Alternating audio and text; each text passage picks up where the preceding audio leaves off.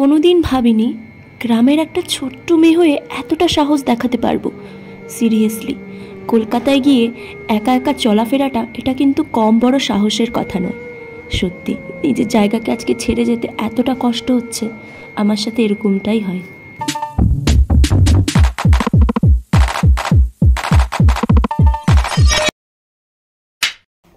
Hello guys good morning welcome back to my channel আমি ডন সাথে একটা নিউ ইন্টারেস্টিং ব্লগে তোমরা এনজয় করতে চলেছো। দেখো ব্লগটা ইন্টারেস্টিং হবে, কিন্তু আমার দিক থেকে ব্লগটা আজকে লাস্ট পরীক্ষা।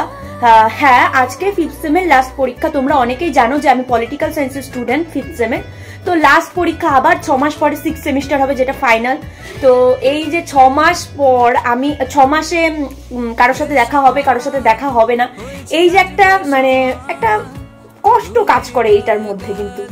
কিন্তু আজকে আমি ভাবলাম, আজকে আমার কলকাতা যাওয়ার কথা ছিল, তো মা, পাপা অনেকে বলল যে, আজকে বাদ দে, আজকে এটা একটু মজা কর, কালকে তুই চলে যাবি, আজকে রেস্ট টেস্ট নে তারপরে। তো আমি বললাম ঠিক আছে, চলো, আজকে লাস্ট যেহেতু পরীক্ষা পরীক্ষা দিয়ে সবার সাথে একটু এনজয় করে তারপরে বাড়ি আসব। বাড়ি এসে একটু রেস্ট নিয়ে তারপরে কালকে যাব। তো চলো, আজকে অনেক বকবক করলাম, শুরুতে অনেকদিন ধরে কথা বলি না এইভাবে শুরুতে, তাই? চলো, আর বকবক করছি না, আমার মাথায় অনেক টেনশন আজকে লাস্ট পরীক্ষাটা যেন ভালো হয়, তার কারণ তিনটা পেপার ভালো করে দিয়েছি, এটা যেন ভালো করে হয়। বাবা গো, অনেকদিন পরে সাইকেল চালাচ্ছি বন্ধুরা। মানে বলতে পারো, পনেরো দিন পর সাইকেল চালাচ্ছি, এখন যা পনেরো দিন পর চালে চালাচ্ছে, আর আমাকে কীরকম লাগছে, কী কী লাগছে নাকি অবশ্যই বলে। আমার এই প্যান্টটা তো দারুণ লাগে। মানে এখন যদি বলো যে প্যান্টের বেস্ট চয়েসের মধ্যে কি, এটা আমার।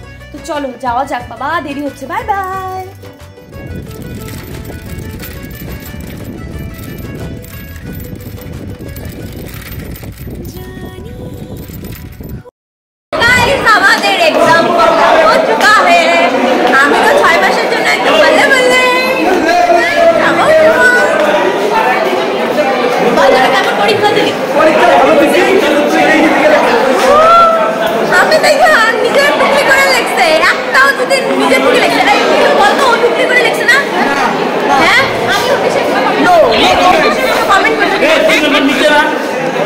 এরা সবাই টুকলি করে লিখছে।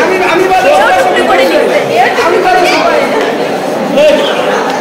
চলো এবার আমাদের তিন নম্বর এবার আমাদের তিন নম্বর রুমে যেতে হবে মিটিং টেটিং মিটিং টেটিং আমার গলা একদম ফাটা মাই সবাই শুনবে চলো তিন নম্বর রুমে যাওয়া যাক হিপ হিপ হুররে আমাদের পরীক্ষা শেষ হুররে আমাদের পরীক্ষা শেষ এবার আমাকে ফেলে দিস না অবশ্য চলো 2,000 years later. তখন শুরুতে ফার্স্ট ইয়ারে এসেছিলাম কলেজে জানো তো, এরকম ছোটোখাটো অনুষ্ঠানে কলেজের প্রত্যেকটাতে পার্টিসিপেট করতাম। এখন সময়ের গতিচক্রে কোথায় যে চলে গেল সবটা এখন আর বোঝাই যায় না। পরীক্ষা শেষ হতে কেরিয়ার কাউন্সেলিংয়ের জন্য একটা প্রোগ্রাম ছিল, সেখানে চলে আসলাম। হাতের অবস্থা দেখতে পেরেছ? হাতে লিখলেই আমার এরকম হয়, কেন জানি না। আর এই নেল এক্সটেনশন করে আমি যে ভুক্তভোগী হচ্ছি তোমাদেরকে কি বলব? তা দেখো, এতটা ভিড় এতটা ভিড়। কাকুর ফুচকা জাস্ট অসাধারণ হয়। একটা সিক্রেট কথা বলছি, আমি না বেশিক্ষণ ফুচকার জায়গায় দাঁড়িয়ে থাকতে পারি না, আমার জিভে জল সিরিয়াসলি কখন থেকে দাঁড়িয়ে আছি? এখন আমাদেরকে দিচ্ছে না।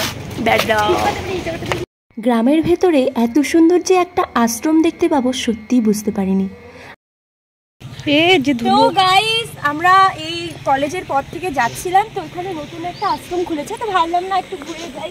আর আজকে যেহেতু আমার মানে প্ল্যানিংটাই ছিল ওদের সাথে একটু টাইম স্পেন্ড করব তো সেই জন্য না একটু চলো ঘোরা যায় কোনোদিনও পেটুক বান্ধবী দেখেছ? এই দেখো, কতগুলো স্কুলের বান্ধবীকে আমি দেখতে পেলাম পেটুক। ওদেরকে আমি জুম আউট করে একদম ভিডিও দেখ শ্যুট করলাম। তো চলো, আমরা সবাই ফ্রেন্ডসরা মিলে বসে পড়লাম, এবার আমরা প্রসাদ খাব। তোমরা বিশ্বাস করতে পারবে না বন্ধুরা, তোমাদের অনেকের মনে ধারণা থাকতে পারে যে নিরামিষের মধ্যে কোনো স্বাদ নেই, নিরামিষ রান্নাবান্না অতটা ভালো লাগে না। কিন্তু সত্যি বন্ধুরা, আজকে যতগুলো মেনু ছিল না, এতটা টেস্টি ছিল, আর সমস্ত কিছুই নিরামিষ। যেহেতু আশ্রমে রান্নাবান্না, নিরামিষ তো হবেই।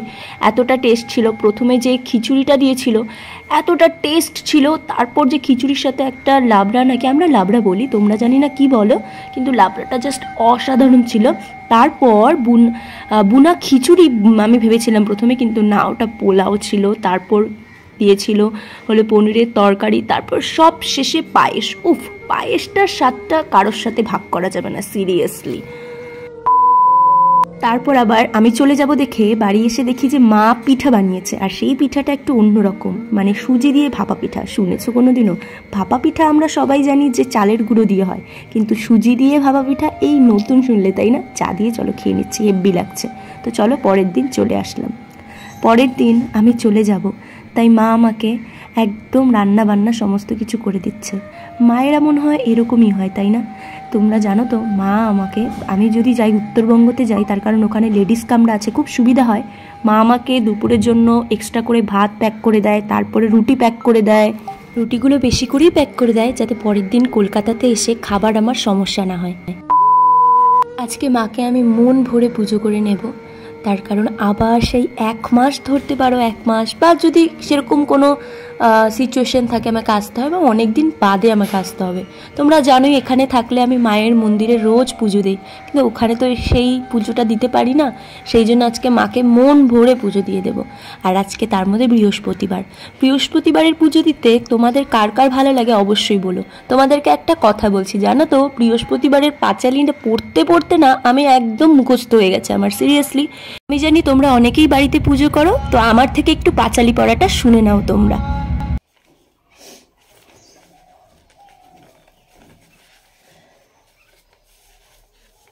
পৌষ মাসের ব্রতকথা ননদ ভাজের উপখ্যান। বিধবা ব্রাহ্মণী এক কাটোয়ায় আসিন এক মেয়ে পাঁচ ছেলে নিয়ে কষ্টে কাটে দিন। একদিন দৈবক্রমে কোনো কিছু খাবার না জুটিল, উপায় না দেখে ব্রাহ্মণী ভ্রাতার বাড়িতে আসিল।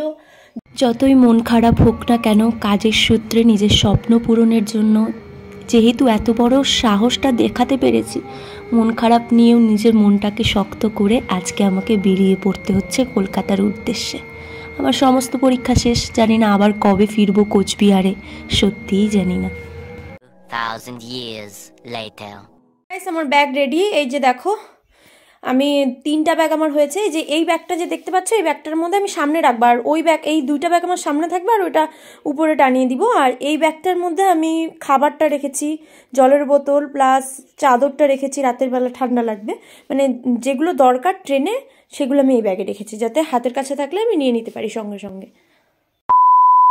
হ্যাঁ হয়তো কোচবিহারে আসলে বিভিন্ন ধরনের কলকাতার কাজের চাপের জন্য আমাকে হুটফাট করে তাড়াহুড়ো করে বেরিয়ে পড়তে হয়। কিন্তু যতই বলো বন্ধুরা জানো তো নিজের জায়গা তো নিজের জায়গাকে না একদম ভুলি না।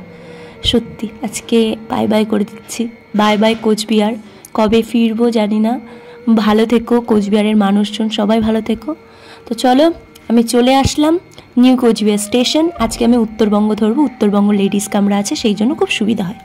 Two thousand years later.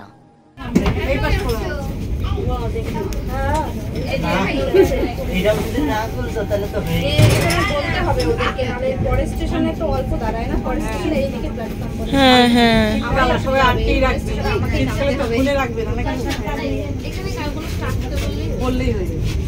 দেখতে পেলে আজকে কত বড় বিপদটা হতে চলেছিল? ট্রেনের যে দরজাটা না, সেটা জ্যাম হয়ে গেছে। দেখো, অনেক স্টেশন আছে যেখানে বেশিক্ষণ ট্রেন কিন্তু থামে না। সেখানকার যদি মানুষ নামতে চায় সেই স্টেশনে, তো বেশিক্ষণ যদি না থামে, তখন এই দরজা জামের জন্য সে সেই স্টেশনে নামতে পারবে না। কত বড় বিপদটা বলো তো? সেই জন্য আমরা সবাই হুটপাট করে নিলাম, একদম কি বলব? তো চলো, ফাইনালি খুলেছে, তারপরে একটা স্টেশনে এসে আমরা সেই স্টেশনের গার্ডদেরকে বলেছি যে দরজাটাকে একটু ঠিক করে দাও না হলে আবার সেই একই প্রবলেমটা দেখা যাবে।